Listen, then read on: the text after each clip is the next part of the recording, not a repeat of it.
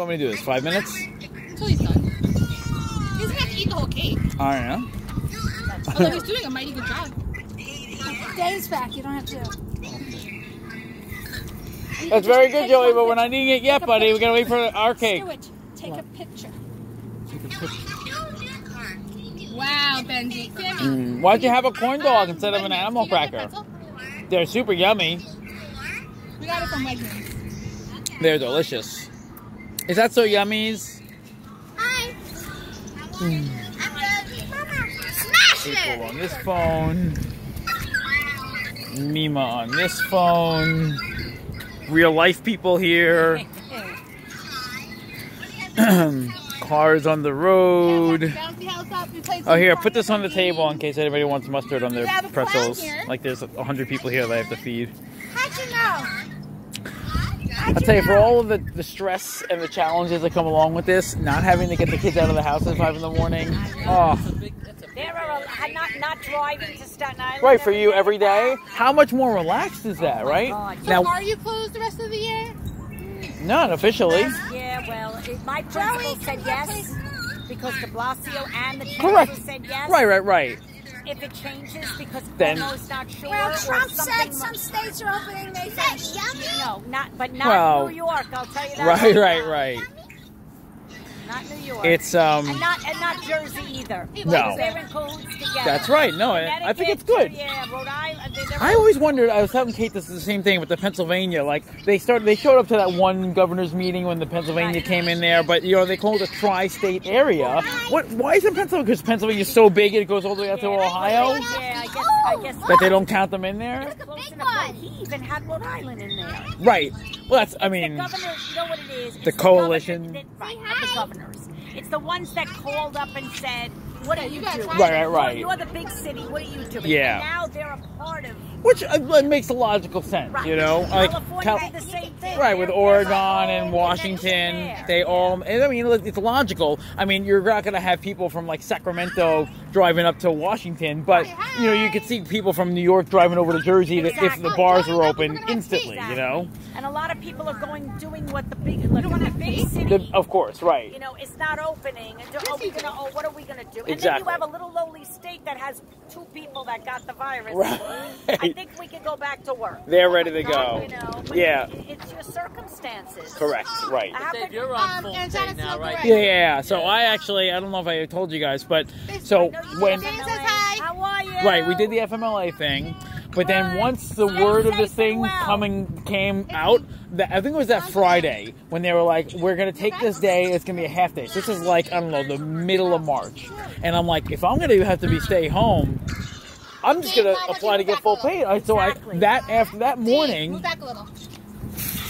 that morning I sent the um, the board office a note saying like I'm ready to come back. Please terminate my early my leave and let me come back full time. I'm ready to start on Monday. You know what I mean? And so they were like, well, the board meeting's on Wednesday, so we'll start you on the Thursday. And I felt bad for my girl that was subbing for me, but she was there already subbing for somebody else. I just piggybacked her. So if anything, I gave her extra Does she have leave. And I told her from point blank at the beginning, I said, uh, when I applied for it for five weeks, I said, I don't guarantee I'm taking all five weeks. So, I mean, whatever. She landed on her feet. She's a big girl. She'll figure it out. Yes, she will. Life will, life will go on. But for me, like, you know, she's a can add her. single kid. She's, she doesn't have any bills or expenses. and you want that full pay. Oh, for sure, right. So then that Thursday, I was able to jump back into it, and um, and then that Friday, I applied for the FMLA because you can't apply for it until after you're done with it. Which is a nightmare in itself. But her. I um, don't know why. Anyway, so that so we got confirmation FMLA by itself. I mean, the government, you know, they're all fighting thousands of people at the same time, and it's the same office that does Alright, so then unemployment. So, long story short, uh, you know, I got an email, I got a, a paper letter from them saying Okay. that they have my claim, it's being processed, and I'll get my payment in a form of a debit card at some point. But I have to tell you because I forgot myself. Postal lighting used to get candle last night. tonight's is good. So tonight's just Tonight, tonight, tonight, good. Anyway, um, so really wasn't on the top. You're, you're back. I'm full time. I'm doing the remote learning thing like everybody else is, and I should be getting a payment from FMLA. Except they they said that they had sent it and I haven't received it. Yeah. So now I'm like, all right, well, but every time I try calling them, I have no, they have nobody's there. They say we're too busy. You can't. They don't even have like a hold time, you You know know? when you're gonna get it? You're gonna get it in October. Right. Which I mean, at the end of the day, I'm going to get it, and it's not like When you get it, you go, ah, right here it is. Right. It's not like it's making or breaking the Sandy, wanna say facility ability to handle a house. But I'll tell you. Well, it does. Right, that's true, exactly right. But I'll tell you, like this Florida thing is just killing us now. It's a sieve because nobody can rent the place, and we're still, you know, they gave us a forbearance on the mortgage, which is nice. But then that still that money comes due in six months, and it's all going and that's that's nuts to me. I'm like, why wouldn't you just extend the mortgage six months? That would be the logical thing. don't do that. Saying like you owe a thousand a month, okay, well now you owe six thousand a month. Who has that type of money? What's the, where's the logic in Oh, we that? You know? circus theme, so he's wearing the Greatest Showman. I'm still going here. 5:45. We're almost at six Yeah. minutes. I've been taking a lot of videos. So we did. The, I tell you, so normally when being home, having my normal workload and managing the house has been like I don't know, 200, 300 percent of my workload. Now it's like only really 100 percent. I'm I've got so much stuff done around the house. I mean, like was able to get the kid, the the girl clothes out of here and brought in the Scott. Right, Kate steam up the kitchen. She Wow. steamed the tiles, so they still, you know, they've got their years on them, but they look in, infinitely better. And it's all this stuff that just, you know, that, I mean, the kids are home every day, so any attempt at cleaning ends up getting thrown. up. I'm not painting the walls because Joey's just gonna scribble on them again. But um, I'm digging in on a lot of the junk that we just, when we moved in, we threw it into places, You wanna watch? and then we left it there, you know. And now I'm actually more, or should I like figuring it out. Get it all done. It's so they they're hidden benefits, you know. Oh yeah. Oh, yeah. Painted walls, ceiling, hands are here 'cause baseboard, we ground forgot to put molding. That's tremendous. There's a pinata. And Uncle are in the car. Sure, sure, sure. So you so you pulled all the bookshelves and everything and like Marker. wow. Oh, it- Furniture is staying, but no, no, but I mean like to get the walls in. Best we could under the Everything gone. circumstances. See, look at that. You were just on the bathroom like uh, like what a year ago maybe. Repainted the bathroom too. No way. The one you just did. And the doors, all the doors upstairs. Right. So the doors. I've been like. Well, they match. Right, right. That's tremendous. You paint one, and now that one looks really white. Right, take and all the rest of them. And what else are we doing, right? Oh, I mean, but Roy, you're probably still going in, right? The office is open. No. No, no, they told us to stay home. Really? So are you doing any? home. You're doing any? From home when I'm working. Sure, sure, sure. In fact, I had You to go in it. three days and he was home. You mean at that those three days? Right, Yeah, right, just call right.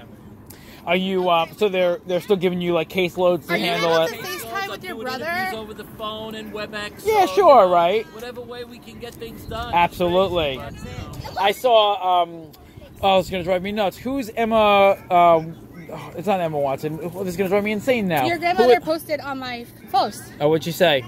Nine. so my grandmother is getting more active on Facebook. So she has had a couple of live streams of her feet, and uh, one of them of her face just looking at uh, the camera.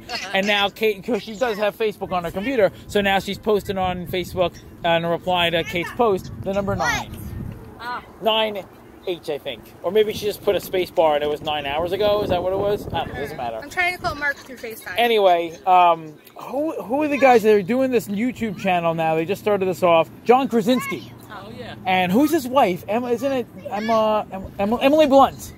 I got him eventually. All right. So anyway, they did this whole thing where they- they're doing good news, right? They're calling it a good news Yes. channel. And so this most recent one he just did is about um, the Boston Red Sox. These are all Boston people, and they had the nurses and all this stuff go to the Red Sox um, stadium to go to Fenway Park and all that.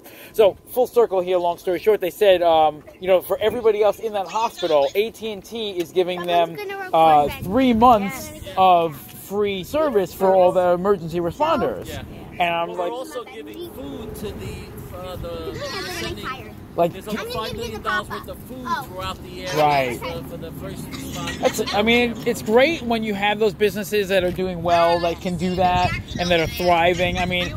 I don't know that there's a lot of give back from the toilet paper industry or Like like, they should be. right, for the insanity. I mean, and it, the, the most absurd thing about that is it's just like you, everybody gets nervous about their stock, Thanks even though you don't like need to worry about it. People aren't using that unless you're housing like a frat house. You're not going to have to deal with people running out of toilet paper at that extreme. If you're on the last roll and you're like, oh well, this Saturday was my day to go, and then the world exploded, then you have a concern. But most people, like kids, constantly, she's like, "Are you have enough? Do you have enough?" And I, because everybody else exactly, and now you can't find it. It's the it's the problem. I like the dots. You like those dots? Super like fun that. dot paint, right? Awesome. But it's uh, anytime there's a major run on things. Like I had, I have it on subscription through Amazon, right? So it comes to the house every other month. And the one that I have ordered, they've completely sold out of because everybody went in there and eviscerated the stock. So you can't. mom on the phone? I, no, I'm still taking a 10 minute Oh, video can of him. now.